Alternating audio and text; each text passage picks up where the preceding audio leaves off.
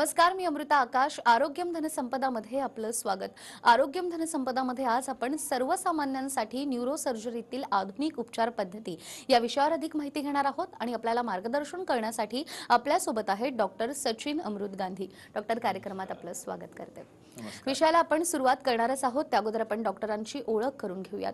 जहांगीर हॉस्पिटलचे ज्येष्ठ अनुभवी मेंदू आणि मणक्याचे सर्जन डॉक्टर सचिन गांधी यांची ओळख करून देताना मला खास आनंद होतोय कारण डॉक्टर सचिन गांधी यांनी Seth G S medical college Mumbai इथून न्यूरो सर्जरीचं प्रशिक्षण पूर्ण केल्यानंतर ते जहांगीर हॉस्पिटल आणि जहांगीर सुपर स्पेशालिटी हॉस्पिटल इथे गेल्या सतरा वर्षांपासून अविरतपणे कार्यरत आहेत.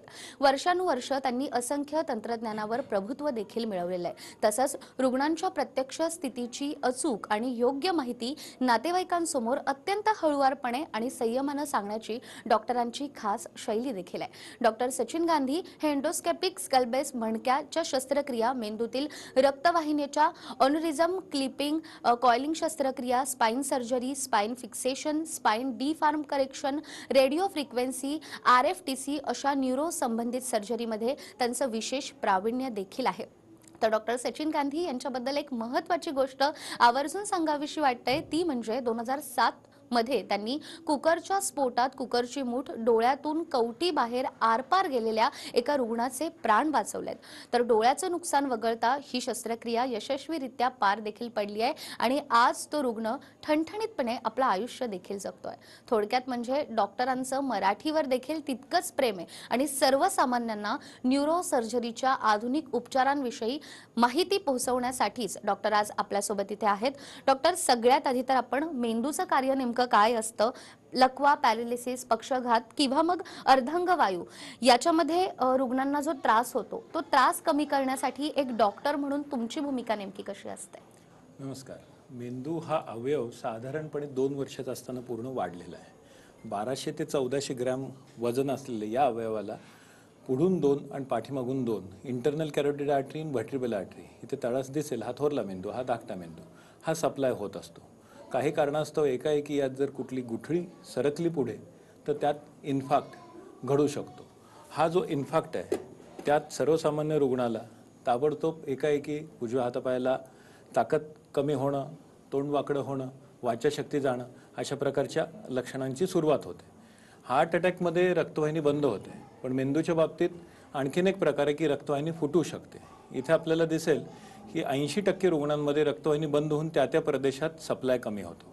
पण आणखीन एक प्रकार आहे ज्यात दहा ते वीस टक्के लोकांमध्ये ही रक्तवाहिनी फुटून आतमध्ये रक्तस्राव होऊ शकतो. हा इन्फाक्ट उत्तरोत्तर दुसऱ्या चौथ्या पाचव्या सहाव्या सातव्या दिवशी फुगत जातो. जर फुगत असेल तर बॉन्द्रे आणि केली एकोणीसशे वीस साली एकशे एक वर्षपूर्वी दोन शास्त्रज्ञांनी हायपोथेसिस दिलं होतं की या कवटीच्या आत फक्त आणि फक्त मेंदूसाठी जागा आहे. मग ही जागा जेव्हा जास्ती मागत असतो हा इन्फाक तेव्हा बाकीच्या मेंदूतील नॉर्मल यंत्रणा व्यवस्थित जगाव्या या दृष्टीने या इन्फाक्टचं कवटी काढून ऑपरेशन करावं लागतं. साधारणपणे मशीन व्हेंटिलेटरवर पुढच्या दोन तीन दिवस आय सी यू त्याची ट्रीटमेंट होते. उत्तरोत्तर बाराव्या तेराव्या दिवशी त्याचे टाके निघतात. पण या इन्फाक्टच्या लोकांना त्यातनं पूर्णपणे बरं होण्यास वेळ लागतो. डावी बाजू उजव्या हातापायची ताकद वाचाशक्ती सांभाळते आणि उजवी बाजू डाव्या हातापायची ताकद शक्ती सांभाळते.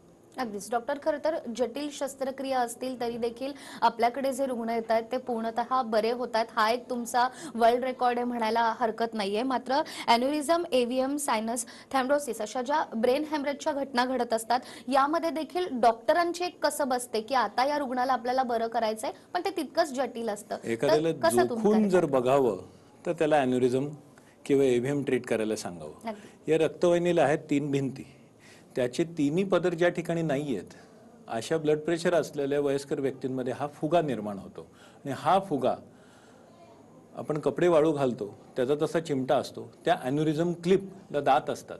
मग कवटी उघडून या अॅन्युरिझम क्लिपनी त्या फुग्याला आपल्याला चिमटा बसवता येतो. याला क्लिपिंग असं ऑपरेशन म्हणतात. पण हा रुग्ण प्राथमिकरित्या आपल्याकडे येतो कसा? तर एकाएकी मला भयंकर डोक्यात वेदना सुरुवात झाल्या.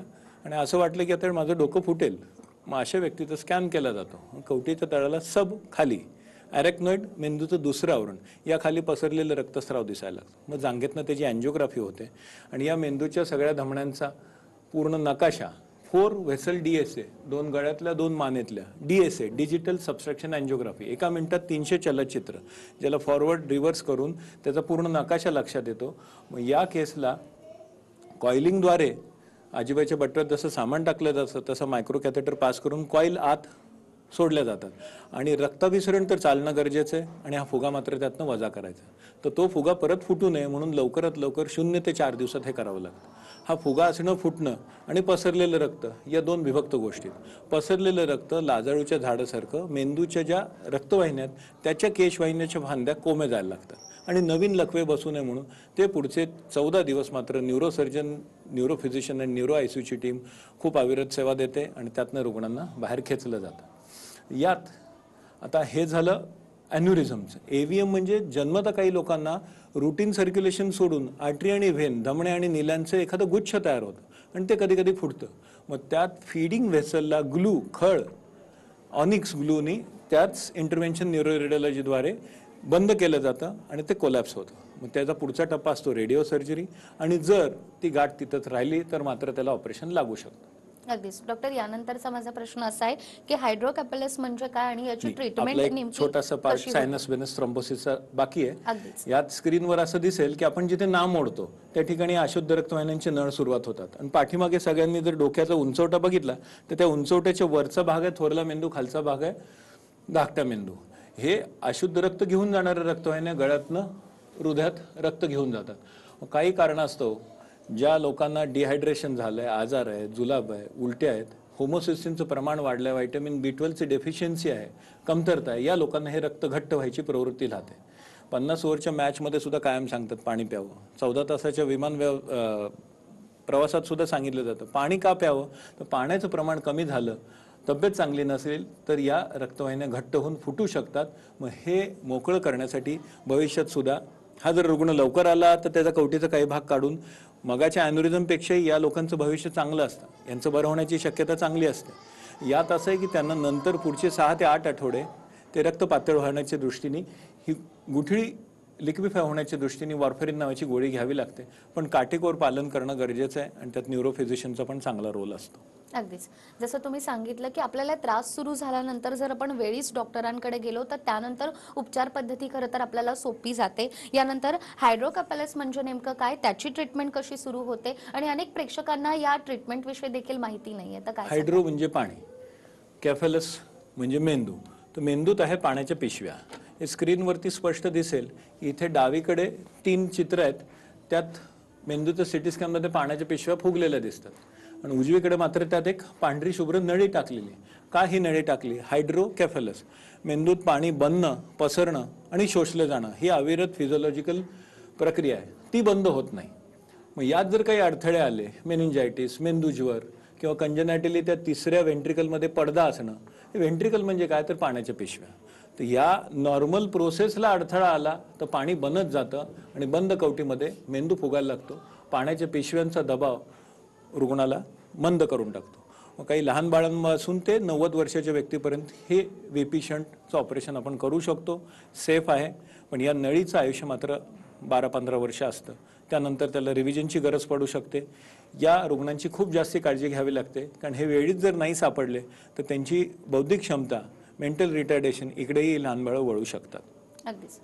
डॉक्टर त्यानंतर खरं तर दुर्बिणीने देखील मेंदूची शस्त्रक्रिया करता येते. मात्र सर्वसामान्यांसाठी खरं तर हा एक गूढ विषय असतो की ही चिकित्सा कशी केली जाते? तर या ट्रीटमेंटबद्दल काय एवढ्या जटिल अवयवात आधीच तो जो दह्यासारखा मऊ आहे यात दुर्बीण कशी पास करायची? तर ज्यांच्या व्हेंट्रिकलमध्ये जिथे मेंदूत पाणी आहे ते इथे चार आण्याच्या नाण्या इतपत छिद्र बनवून त्वचेवर काप घेतला जातो. या दुर्बिणीत आत पोचून नेमकं ज्या ठिकाणी अडचण आहे तिथं पोचलं जातं आणि ती दुर्बीण तिथे घेऊन जाते. या तिसऱ्या व्हेंट्रिकलच्या तळात हा एक पातळ पडदा आहे की ज्याच्या खालोखाल बेझेलर आर्टरी आणि ब्रेन स्टेम याची काळजी घेत बायपोलर कॉटरीच्या मदतीने बारीक छिद्र करून फोगार्टी नावाच्या बलूननी चित्रात दिसेल. त्याला हळूहळू डायलेट केलं जातं. ही काळजी घेतली जाते की हा बलून हँडल करताना जास्ती ताण पडता कामा नये. कारण त्या बेजेला आर्टरीतनं निघणाऱ्या ज्या केशवाहिन्या आहेत त्याला जर अपाय झाले तरी सुद्धा मंदावस्था किंवा कोमा येऊ शकतो. याचबरोबर कवटीच्या तळाला कवटीच्या तळाला आपल्याला वाटण्यासारखी ग्रंथी असते पिचुट्री. ही पिचुट्री आहे ही शरीराचा सर्वात महत्त्वाचा ऑर्केस्ट्रा एवढ्याशा खोबणीत जे काही ग्रंथी बसलेली आहे त्याच्या पेशींचं सुद्धा वाढ होऊन कधी कधी गाठ निर्माण होऊ शकते. एक सेंटीमीटरपेक्षा मोठी त्याला मॅक्रो ॲडिनोमा म्हणतो. मग आम्ही नाकातनं दुर्बिणीच्या मदतीने एंडोस्कोप आठ नऊ सेंटीमीटर या तळापर्यंत येतो. छिद्र पाडत इथली असलेली गाठ याला टॅकल करतो. या लोकांना पुढे सुद्धा खूप काळजी घेणं गरजेचं असतं. पण जसं अवगत तंत्रज्ञान येतं एंडोस्कोपिक सर्जरी येते उत्तरोत्तर न्यूरोसर्जरीचा चेहरा बदलतोय. न्यूरोसर्जरीचे रुग्ण पूर्वी बरे व्हायला वेळ लागत होता पण आता प्लॅन सर्जरी नियोजित सर्जरी तीन ते पाच दिवसात रुग्ण घरी जातोय. अगदीच. खरं तर ही ट्रीटमेंट करायला येणाऱ्या रुग्णांच्या मनातही हाच प्रश्न असतो की आता मला खूप वेळ डॉक्टरांकडे किंवा हॉस्पिटलमध्ये राहावं लागेल मात्र हा अगदी सर्वसामान्यांसाठी दिलासा म्हणावा लागेल जे तुम्ही सांगितलं की कमीत कमी वेळेमध्ये शस्त्रक्रिया होतात आणि पेशंट घरी देखील लवकर जाऊ शकतात. काळ होता मेंदूची शस्त्रक्रिया म्हटल्यानंतर धास्ती बसायची. मणक्याची शस्त्रक्रिया झाली की माणूस खाटेला खेळतो. एक मिथ्य किंवा अशी कल्पना होती पण तसं नाही आहे उत्तरोत्तर शास्त्राची मदत घेऊन आणि अवगत तंत्रज्ञान कौशल्य याच्यावरती त्याला कोड कसं किती चांगल्या पद्धतीने हँडल करतंय आपण असं म्हणूया मी एक्केचाळीसचा सदरा घालतो तर टेलर ट्रीटमेंट त्या रुग्णाला त्याच्या त्या वेळेला काय आहे हे जर कळलं तुमच्या डॉक्टरांना त्याच्या आजाराची जर कळकळ असेल तरच तो रुग्ण बरा व्हायला नक्कीच मदत होते. अगदीच. डॉक्टर यानंतर एस आय एच म्हणजे काय? त्याची ट्रीटमेंट नेमकी कशी होती? आणि बी आय एचमध्ये देखील अ, डॉक्टरांनी पूर्ण ट्रीटमेंट केल्यानंतर रुग्ण बरे कसे होतात नेमके? थोडीशी रेअर कंडिशन आहे S I H and B I H spontaneous intracranial hypotension चित्रात मी दाखवलं आहे बाण. जसं आता महाराष्ट्रावरती पुराचं सावट आलं होतं त्या दरडी कोसळत होत्या. तसं अक्षरशः मेंदूतून पाणी कुठून तरी झिरपत असल्या कारणानं मेंदू धाकटा मेंदू आणि बुंदा हे सगळेच खाली सरकायला लागतात. मग हे काय कुठं पाणी कसं झिरपतं तर पाठीतनं त्याला आपण एल पी लंबर पंक्चर करून सिस्टमोग्राफी नावाचा तपास करतो आणि कुठे तो लीक शोधून काढून त्याच रुग्णाचं वैयक्तिक तिथलंच रक्त काढून त्या स्पायनल कॉर्डच्या आजूबाजूला एपिड्युरल स्पेसमधनं त्याचा ब्लड पॅच दिला जातो त्याला रिपेअर केलं जातं. तो रिपेअर केल्यानंतर दरम्यानच्या काळात आतलं प्रेशर चेंजेसमुळं केशवायनं जर फुटल्या असतील तर त्याला बरहोल करून दोन बरहोलने छिद्र करून रक्तप्रवाह मोकळा केला जातो. हे रुग्ण लवकर बरे होतात. पण तुमच्या मेंदूला जे दिसेल ते तुमच्या डोळ्याला दिसेल. मग या आजाराची शक्यता जोपर्यंत माणूस विचार करत नाही तोपर्यंत रुग्ण बाहेर येण्यास अडचणी येतात. त्या विरुद्ध जर मेंदूत पाण्याचं प्रेशर वाढत राहिलं तर मेंदूतलं पाणी आणि डोळे आणि डोळ्यांच्या नसा यांचं कनेक्शन असतं. त्या डोळ्याच्या ऑप्टिक डिशच्या आजूबाजूला ते पाणी खेळत असतं. या रुग्णांना होतं काय? अतिव्र डोकं दुखणं डोळ्यासमोर अंधारी येणं डबल दिसायला लागणं आणि हळूहळू आजूबाजूची विजन निघून जाणं.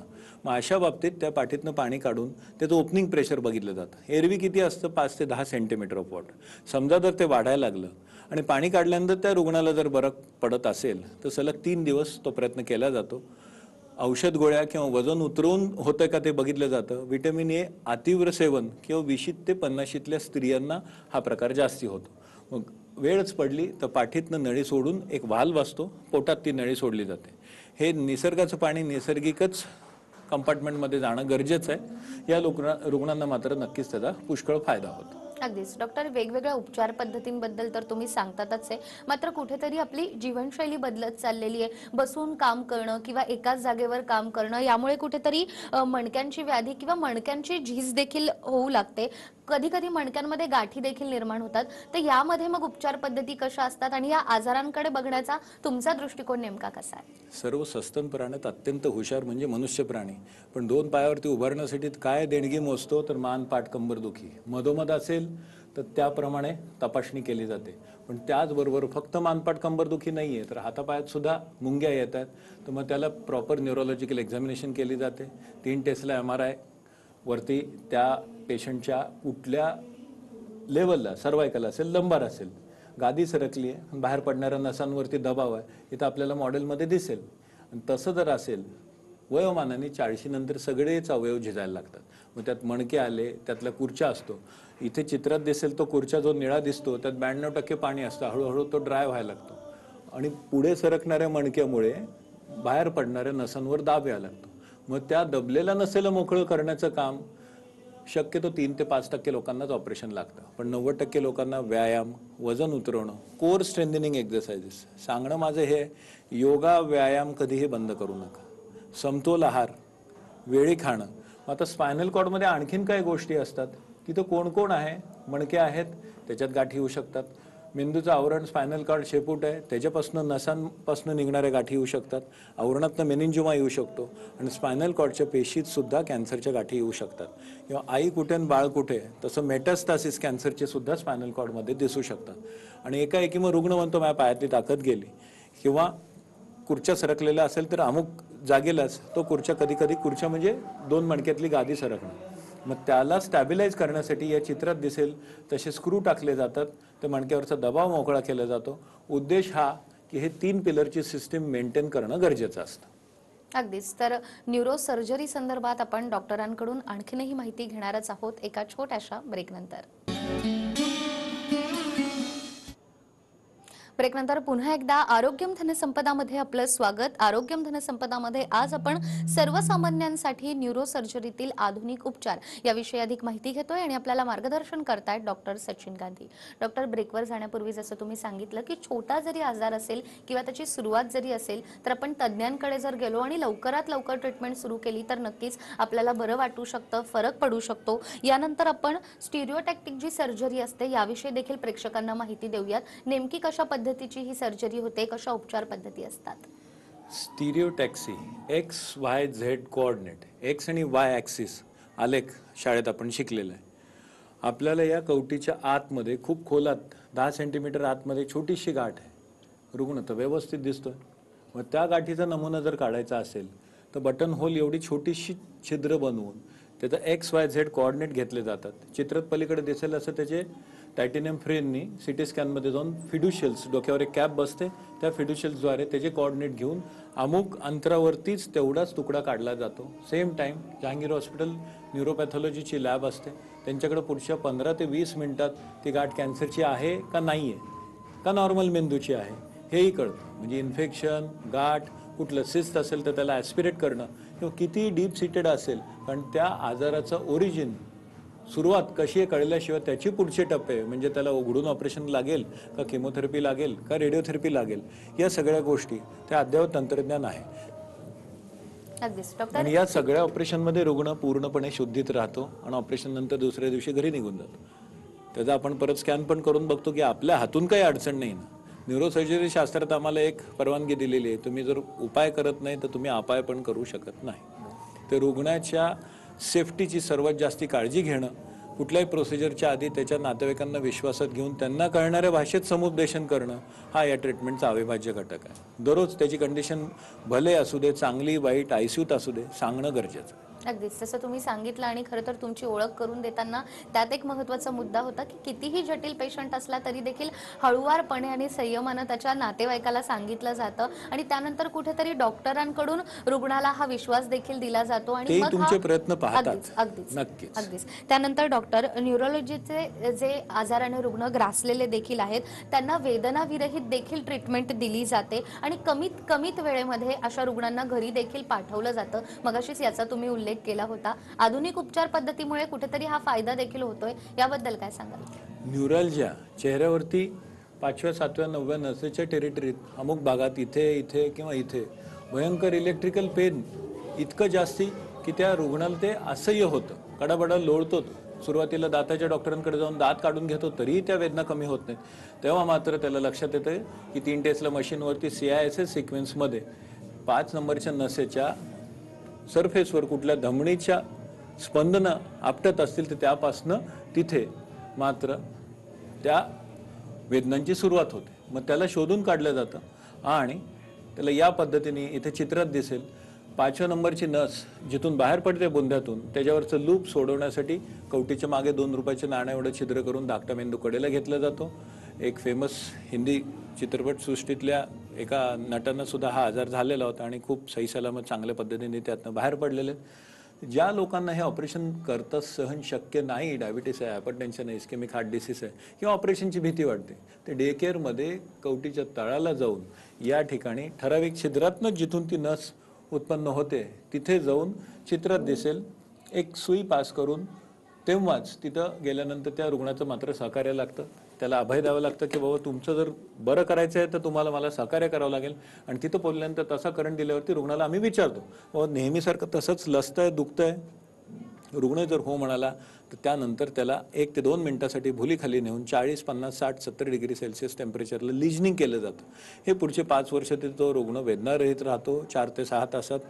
इतका खुश होतो की त्याचं अनेक वर्षांपासून म्हणजे पूर्वी इतिहासात याला सुसायडल डिसीज असंही म्हणायचं. या वेदना असह्य असतात. एक प्रसूती वेदना आणि त्यानंतर दोन नंबरला येते ही दाताची वेदना. अगदीच. तर ज्याप्रमाणे डॉक्टरांनी सांगितलं मेंदू असेल किंवा मणक्यांचे कोणतेही विकार असतील या विकारांना सुरुवात होत असेल तर त्या अगोदरच तुम्ही डॉक्टरांशी संपर्क करू शकतात स्क्रीनवर डॉक्टरांचा नंबर आहे. अधिक माहितीसाठी तुम्ही डॉक्टरांशी संपर्क करू शकतात आणि डॉक्टरांचं मार्गदर्शन देखील मिळवू शकतात. डॉक्टर या आजारांविषयी आणि शस्त्रक्रियांविषयी तर आपण बोलतोच आहे. अनेकदा आपण पाहतो की रस्त्यावर जो अपघात होतो त्यामध्ये मेंदूला खूप मार लागतो आणि मग त्यानंतर त्या पेशंटला रिकवर होणं हे थोडंसं कठीण होतं. बराच वेळ जातो. असे असंख्य पेशंट आतापर्यंत आपल्याकडे आलेत आणि ठणठणीत होऊन ते घरी देखील गेलेले आहेत. तर या अनुभवाबद्दल काय सांगाल? दहा हजारपेक्षा जास्ती शस्त्रक्रिया झालेल्या आहेत. पण मेंदू अपघाताबद्दल मेंदू आणि मणक्याला जबर इजेचा जेव्हा फोन येतो तेव्हा जसा नातेवाईक चिंतेत असतो त्याच प्रमाणात आम्ही चिंतेत असतो की किती खोलवर लागलेलं आहे. मग त्याला जहांगीरच्या इमर्जन्सी डिपार्टमेंटमध्ये येतात क्षणी एअरवे ब्रिदिंग सर्क्युलेशन आणि शॉक कारण फक्त मेंदूला लागलेलं नसतं कधी मणक्यालाही लागतं. त्याला अशी एकच वैद्यकीय शास्त्रातली ही हा विभाग आहे की जिथं एअरवे ब्रिदिंग सर्क्युलेशन मेंटेन केल्यास ऑपरेशन करण्याच्या आधीच त्याची ट्रीटमेंट अपघात स्थळापासून सुरुवात होते. मग काय कराल? तर एअरवे ब्रिदिंग सर्क्युलेशन मेंटेन करा. आत काय निघतंय? तो नंतरचा भाग आहे. त्याला एक ग्लासगो कोमा स्केल म्हणून. डोळे उघडतो का? बोलतो का? हातपाय हलवतो का? हे किती दिसतात मॅडम? दोन. या एका प्रश्नात तुमच्या बारा क्रेनेल नव तपासल्या जातात. विचारा कसे? हे हात हलतात तिसरा चौथा लकवा नाही आहे तुम्हाला ऐकू येतं सातवा आठवा ऐकू येतं आणि तुम्ही जर बोललात दोन आहेत. म्हणजे बोललात ना? तर हे काही रूल ऑफ थंब आहेत. हा थंब दाखवला. ते तुम्हाला हाताच्या सगळ्या नसात चांगल्या आहेत. एकाएकी एखादी एस टी उलटून आली आणि बारा रुग्ण आले तर प्रत्येक रुग्णाला अर्धा तास दिलं तर शेवटच्या रुग्णाचा जीव जाऊ शकतो. मग त्याला ट्रेयाज म्हणून असतं. ती वि रुग्णांची विभागणी S M emergency emergency very much emergent मग त्या इमर्जन्सीत तो न्यूरो आयसूत जातो डोर टू निडल मग ज्यांच्या आतमध्ये मेंदूत आत रक्तस्राव झालेला आहे स्क्रीनवर दिसेल सब खाली ड्युरल मेंदूच्या आवरणाखाली मेंदूला ढकलणारा हिमॅटोमा मगा जे सांगितलं मॉनरेन केलीचं हायपोथेसिस की मेंदूत जागा कोणाला आहे? मेंदू मेंदू आणि फक्त मेंदू. नवीन कोण येतं तर सूज येते रक्त येतं. अगदीच. खरं तर ही हवा येते. वेगवेगळी उदाहरणं डॉक्टर तुम्ही देतात आहेत आणि याच्यावर उपचार आपल्याकडे आहेत. आधुनिक पद्धतीनं या सगळ्या आजारांवर उपचार करण्याचा हातखंडा डॉक्टरांचा आहे. डॉक्टर खूप खूप धन्यवाद. आज तुम्ही इथे आलात आणि इतकी महत्वाची माहिती आम्हाला दिलीत. नमस्कार. त्याचबरोबर आरोग्यम धनसंपदामध्ये वेळ झाली आहे इथेच थांबण्याची. पुन्हा भेटूया एका नव्या विषयासह. तोपर्यंत नमस्कार.